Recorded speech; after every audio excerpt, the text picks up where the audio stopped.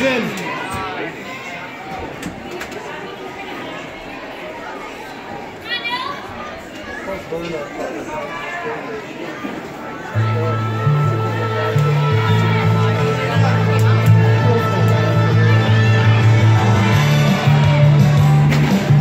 go, Mads!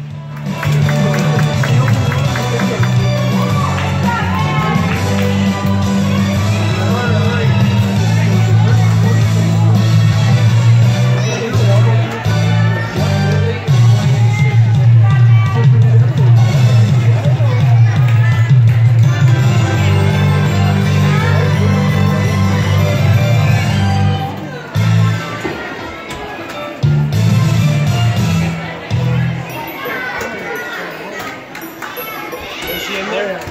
Let's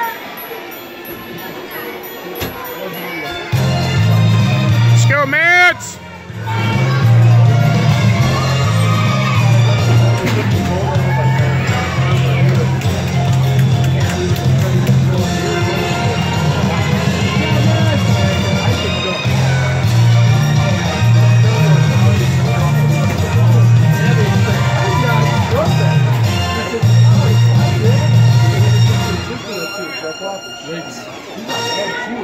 job, good.